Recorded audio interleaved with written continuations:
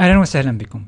إذا حين تكلمنا عن النظام العشري قلنا أن قيمة العدد مرتبطة أساسا بالعناصر المكونة له وموضع كل عنصر حيث أننا نقوم بجمع جداء كل عنصر بقوة الأساس المناسبة لموضعه حتى نحصل في الأخير على العدد الذي ننطلق منه.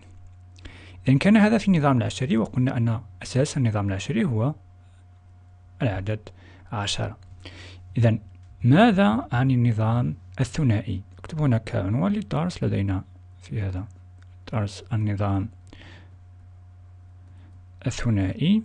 وأبدأ برقم لن نتمم العمل على 2012 لأنه عدد كبير نوعا ما. سأبدأ بالحديث عن الرقم 12 كيف قلنا أننا يمكن تقسيمه في النظام العشري؟ أقوم بالقسمة على عشرة أحصل على واحد. الباقي اثنين ثم أعاود القسمة على عشرة فتكون الخارج صفر والباقي واحد. إذا قلنا هذه هذا هو عددنا حيث أننا يمكن كتابته على الشكل اثنين في عشرة صفر زائد واحد في عشرة يساوي اثنين في واحد اثنين زائد عشرة وهو في النهاية اثني عشر. إذا أننا قمنا بقسمته على الأساس وطريقة الجمع نقوم بضربه ضرب في الأساس أس القوى المناسبة. مثلا هنا لدينا صفر وواحد. إذا أقوم بحذف كل هذا لنبدأ بالنظام الثنائي وكنا تساءلنا في الدرس السابق نهاية الدرس السابق ماذا لو غيرت الأساس؟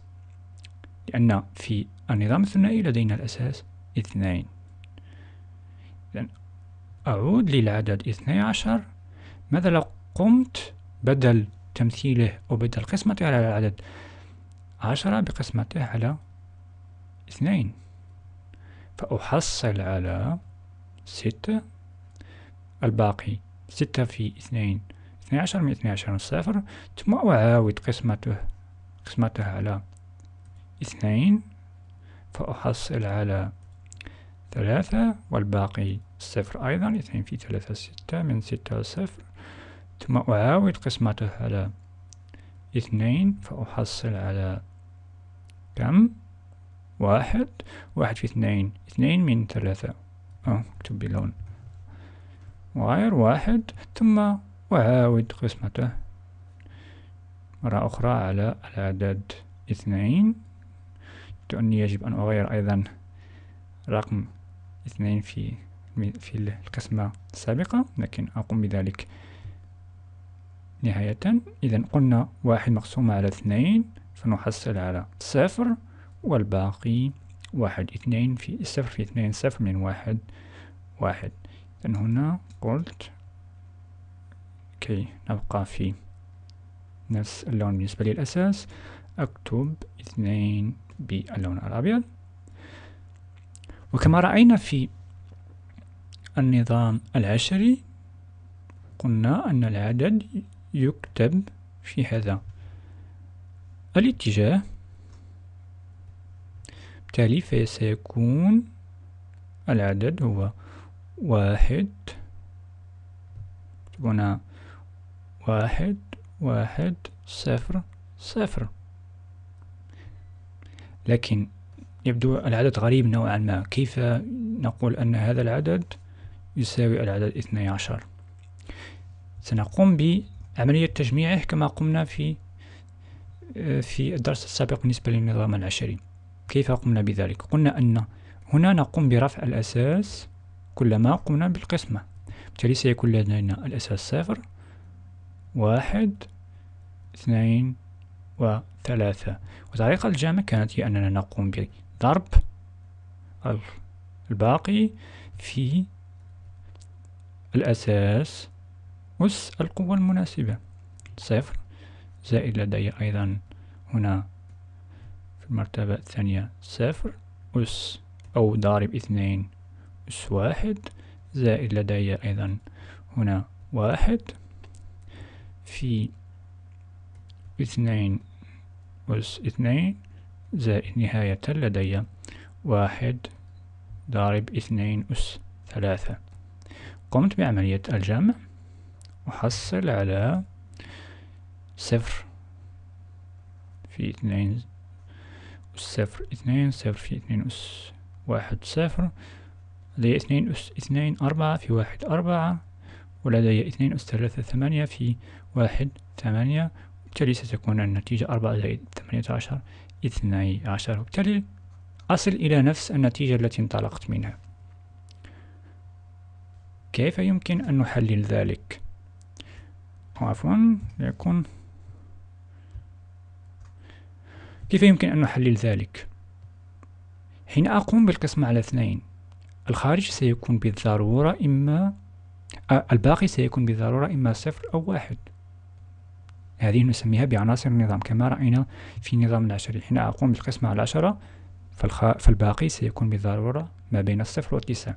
إذا في النظام الثنائي نمثل أي أعداد انطلاقا من الصفر والواحد. إذا هذه عناصر النظام.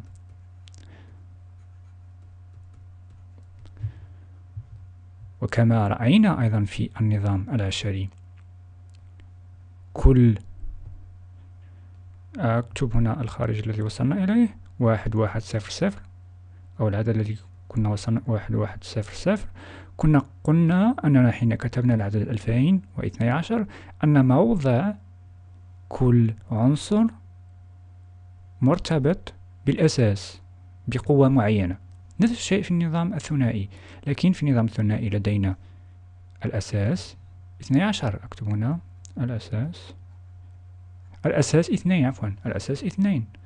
وبالتالي قوى الأساس بدل ما كنا نستعمل في النظام العشري واحد عشرة مئة ألف عشرة آلاف إذا كوحدات مئات وحدات عشرات مئات عشرات آلاف عشرات آلاف وكذا في النظام الثنائي لدينا وحدات لدينا اثنين لدينا أربعة لدينا ثمانية لدينا ستة عشر لدينا اثنين وثلاثون إذن ما هي إلا لو كتبت كما في النظام العشري كنا رأينا ما هي إلا اثنين أس صفر اثنين أس واحد اثنين أس اثنين اثنين أس ثلاثة اثنين أس أربعة اثنين أس خمسة وهكذا.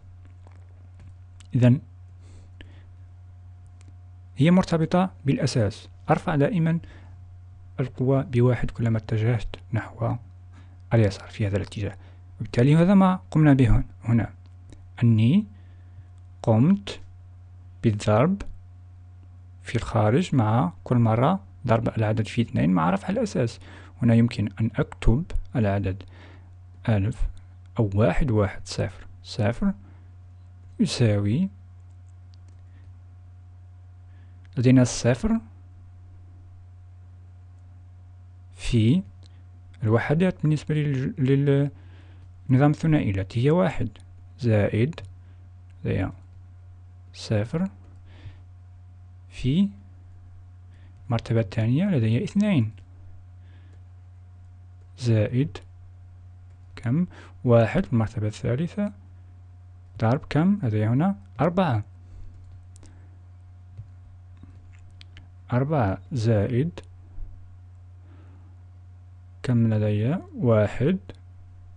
في المرتبة الثالثة هنا لدي كم؟ لدي ثمانية.